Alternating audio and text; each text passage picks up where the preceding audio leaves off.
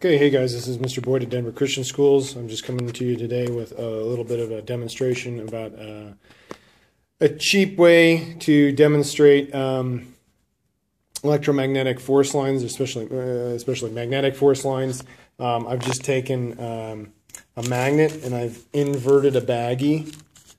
Just put the baggie inside out and put the baggie, put the magnet inside there, and then I've just run this through um, just ordinary playground sand and picked out a lot of the, uh, the little bits and pieces of magnetite there um, or just um, iron filings that are in there from the processing of the sand. And then all you do is you just um, pull this away from the plastic bag and the uh, filings just fall right off into whatever you need. So you can gather up a bunch of filings pretty cheaply that way with uh, just about five minutes worth of work.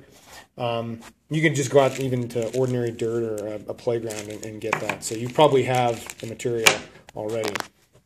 This is just a dollar store uh, cutting mat. In fact, I think you get two or three of these for a dollar. And the reason for this is because it kind of elevates things up above the magnets. And I like that it's clear because then we can really see the position of the magnets in relation to the um, uh, to the field lines whereas paper sometimes is a little harder to do that with. And I just kind of spread out the filings on here. You can spread them out fairly thin. Just want a nice kind of random array. Um, it doesn't take many to do this. It really doesn't. And I'm just going to show that as we move this over the two magnets, you get some pretty nice effects there. You can kind of see how one is gathering and another is um, is creating those nice arc patterns. Um, I've got this suspended over a couple of boards. You don't necessarily have to do that. It's just something handy that I like to do. And then what I'm just going to do is I'm just going to tap the board. I'm being a little bit more vigorous with it than I probably need to be, but um, you can slowly start to see some of those um, really wonderful arcs in there. And you can vary this. I also recommend that you just lift this straight up. Don't try to drag it off because what will happen is it'll pull the magnet filings, um, magnetic filings down onto the magnet. So just directly lift this up and put it out of the way there. And you can flip your magnets.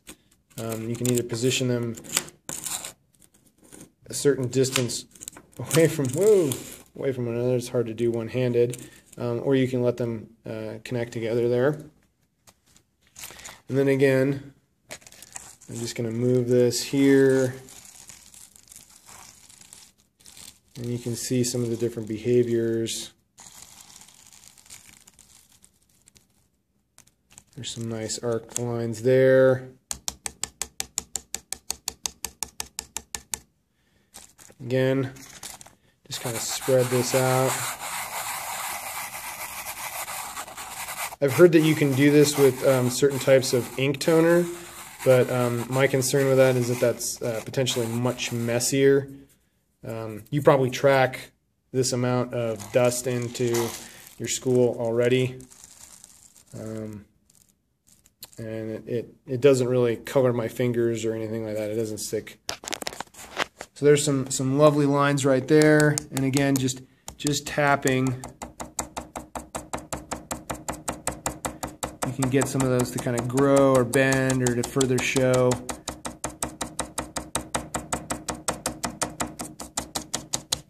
that pattern. And that's it.